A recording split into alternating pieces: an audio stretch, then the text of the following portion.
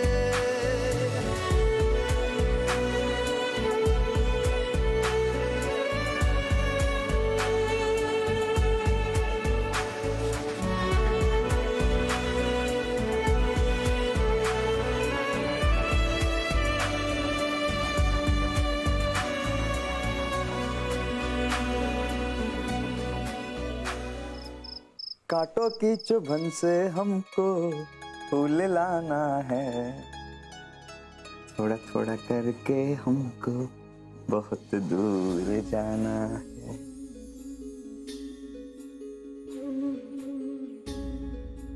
थोड़ा थोड़ा करके हमको बहुत दूर जाना है।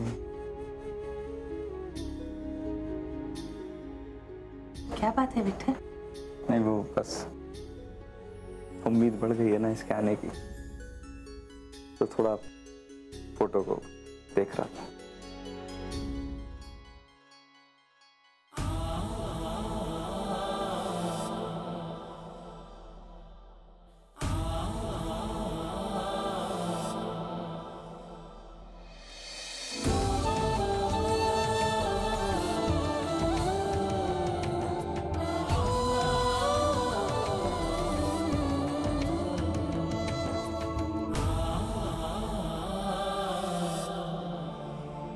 वो दीवान साहब के घर गई थी। पता चला? सुहाना के पीछे कौन पड़ा है?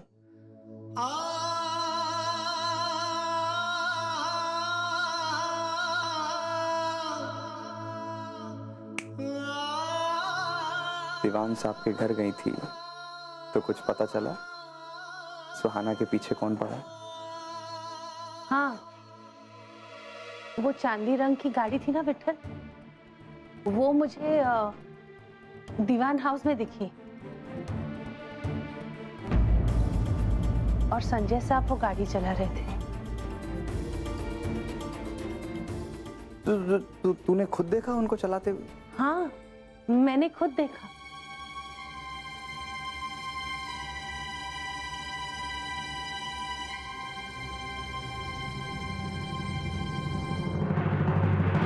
नहीं नहीं नहीं नहीं। एक बाप ऐसा नहीं कर सकता। कुछ भी बोल रही है तू। तू बिल्कुल सही कह रहा है। मैं भी यही सोची थी विठल। गाड़ी तो उनके घर पे ही थी ना। अगर गाड़ी उनके घर में है और उन्हीं की गाड़ी है तो हो ना हो इन सब के पीछे घर का ही कोई सदस्य है। कौन कौन है उनके घर में? चाचा चाची उनका बेटा अमन उनका ड्राइवर विष्णु बीवी सुशीला और उनकी प्यारी सी बेटी मीठी। चाचा चाची नहीं परिवार के हैं। फिर ड्राइवर विष्णु और उसकी पत्नी क्या नाम बताया? सुशीला। ये दोनों तो नहीं गए इन सबके पीछे? नहीं नहीं। विष्णु को ये सब करके क्या मिलेगा विठल मुझे नहीं लगता कि वो दोनों ऐसा कुछ करेंगे।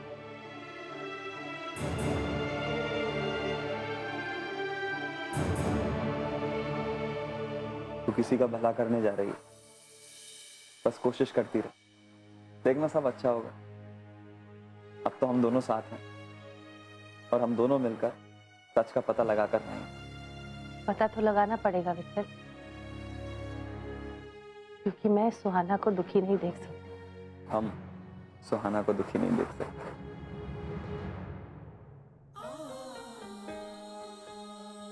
चाय बनाकर लाता हूँ तेरे तूने तो बहुत पिलाया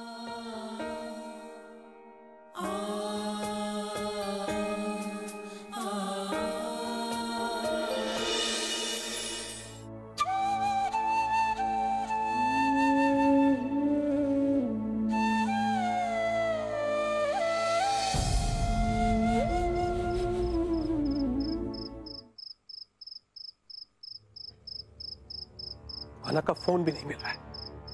रात के एक बज रहे हैं। सुमना कहाँ है। ऐसे कभी कहीं बाहर जाती तो नहीं, लेकिन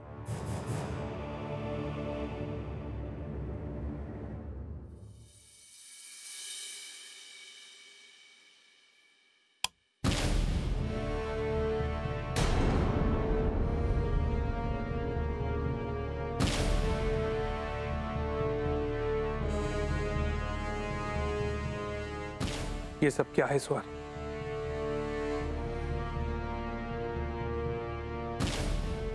अंकल, मुझे सुहाना ने माफ़ कर दिया है। वो भी मुझसे उतना ही प्यार करती जितना मैं करता हूँ। और हम दोनों ने डिसाइड किया, अंकल, कि हम दोनों शादी करेंगे।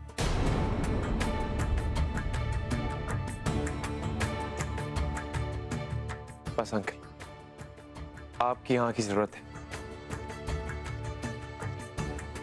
आप बस मुझे हाँ बोल दीजिए।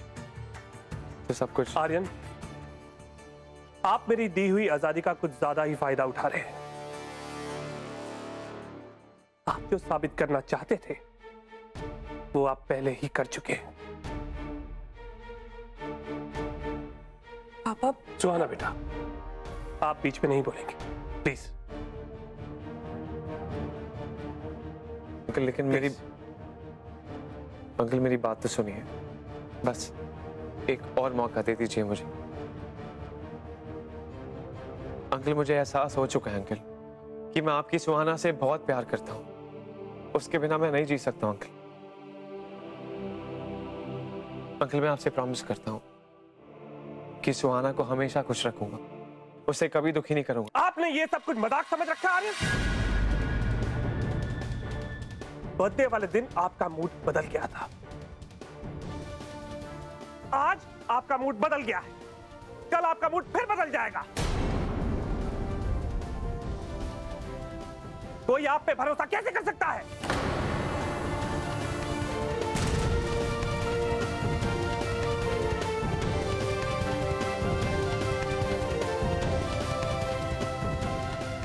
भैया ये ये सब क्या हो रहा है? एक मिनट धीरज।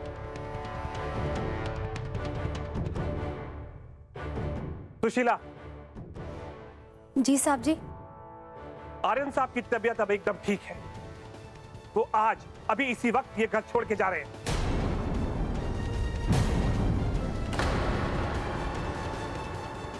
अंदर से उनका बैग लेकर आई जी।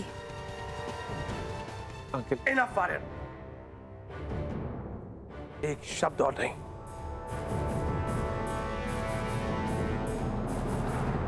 पापा। पापा, आर्यन पहले से बहुत बदल गया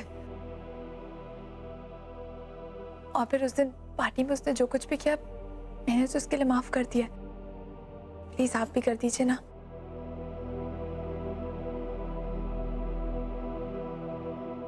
सुहाना बेटा, आप बहुत छोटी हैं बेटा। दुनियादारी को नहीं समझती आप।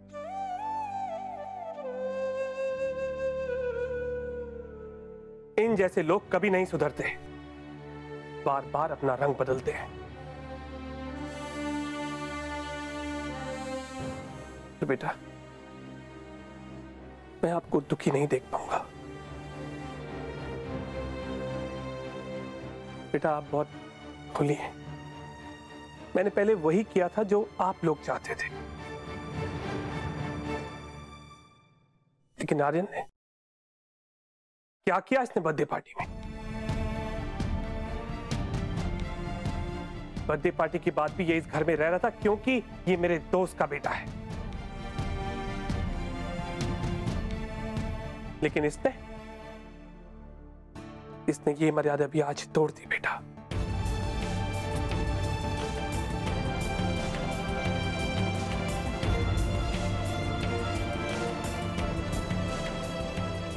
आर्यन आज के बाद आपके लिए इस घर में कोई जगह नहीं।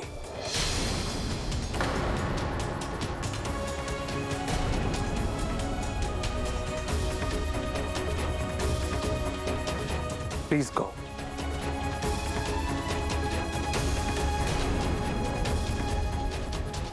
पापा लेकिन एक बार सुन तो लीजिए आर्यन क्या बोलना चाहता है? Uncle. Uncle please I said please go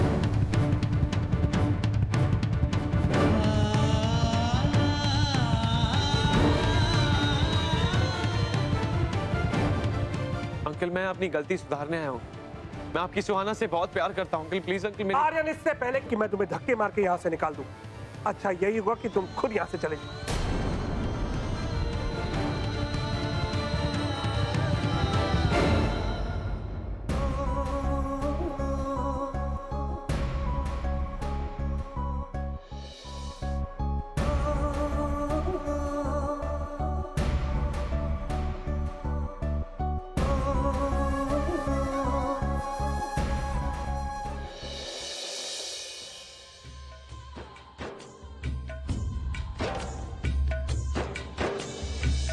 से जो टूटे कोई सपना।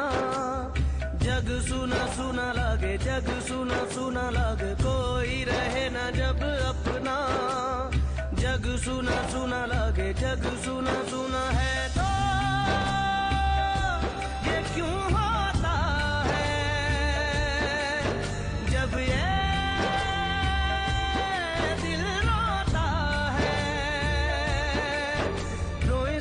सिसक सिसक के हवाएँ जग सुना लगे चन से जो टूटे कोई सपना। जग सुना सुना लगे, जग सुना सुना लगे, कोई रहे ना जब अपना।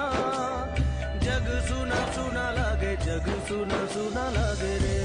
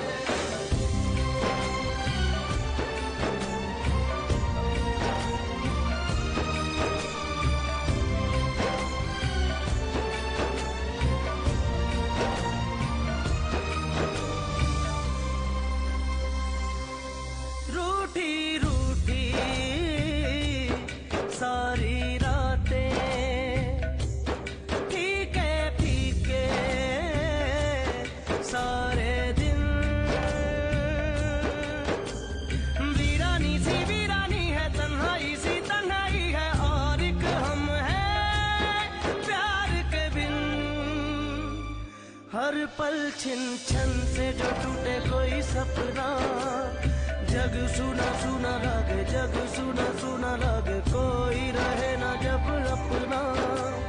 जग सुना सुना लागे जग सुना सुना लागे रे।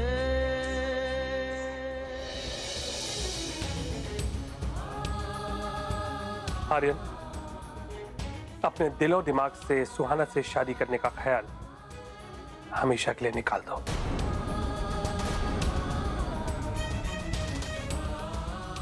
ये कभी नहीं हो सकता। This is my final decision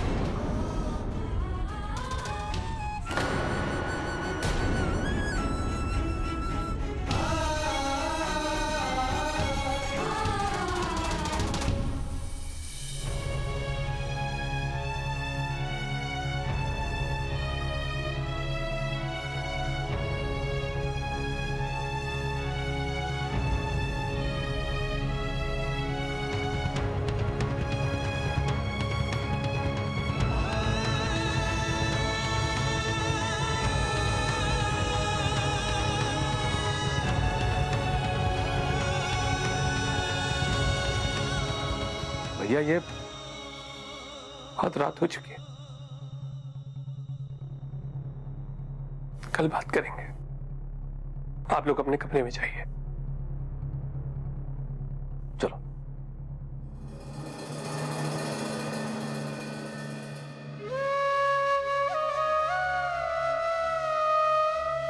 सुहाना।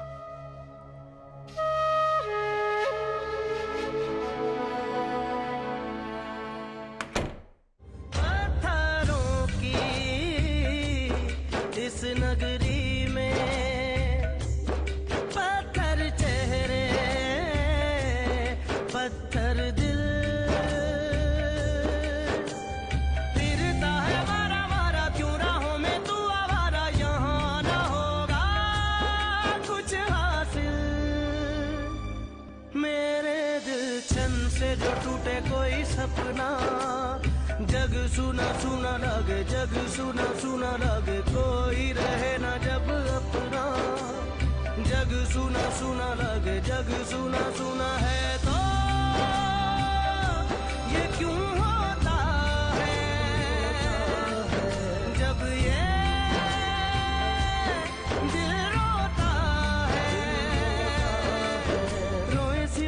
सिसक के हवाएँ जग सुना लगे छन से जो टूटे कोई सपना। जग सुना सुना लगे जग सुना सुना लगे कोई रहे ना जब अपना। जग सुना सुना लगे जग सुना सुना लगे रे।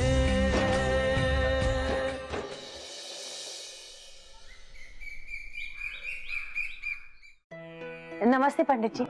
ये मोदक का भोग बापा को चढ़ा दीजिए। मैं आपके घर में सालों से पूजा करवा रहा हूँ। किंतु इस साल पहली बार संजय जी तुम्हारी आग्रह पे इस घर में गणेश जी की स्थापना करवाई है। नहीं नहीं ऐसी कोई बात नहीं है। बापा इस घर में इसलिए आए हैं ताकि वो इस घर के सारे विघ्न सारी समस्याएँ दूर करें। पंडित जी। अ, सुशीला अ, कविता और सुहाना को भी बुला लो। जी।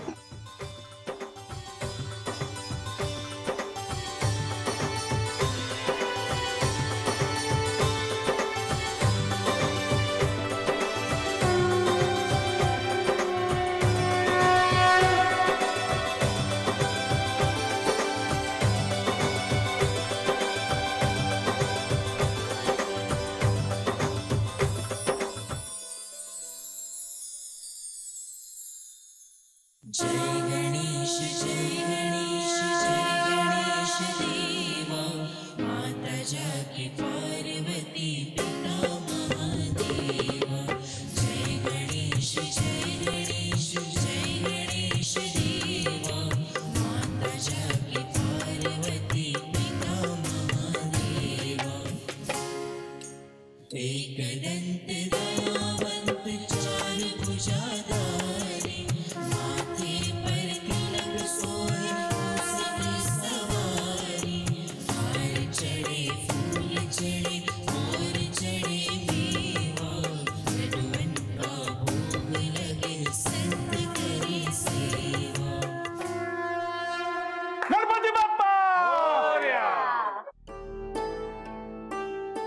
सुहाना मैं आर्यन से मिली बेटा।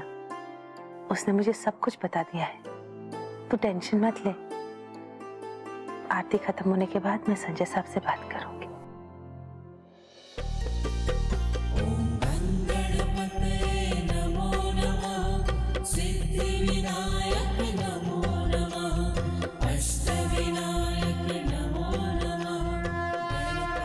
बापा मुझे शक्ति दे, हौसला दे। ताकि मैं सच का पता जल्दी से लगा सकूँ।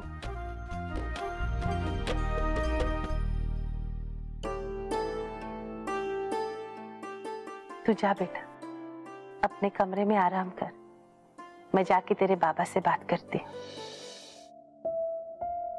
साहब मैं आपसे बात करना चाहती हूँ। कमला जी बात बाद में हो जाएगी। आप जाइए और पहले आर्यन को घर के अंदर लेकर आइए। जी।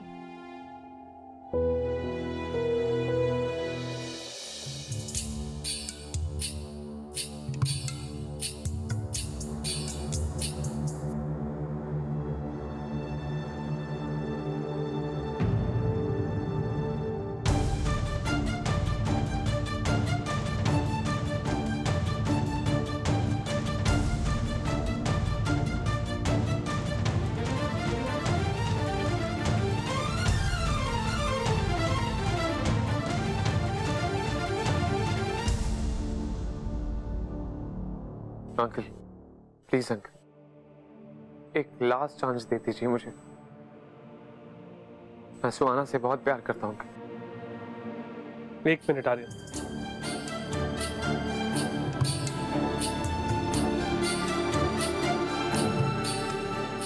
ये लो।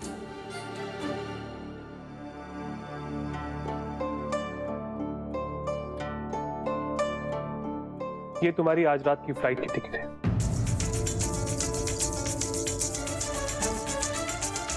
मेरे ख्याल से अब तुम्हें अपने घर चले जाना चाहिए।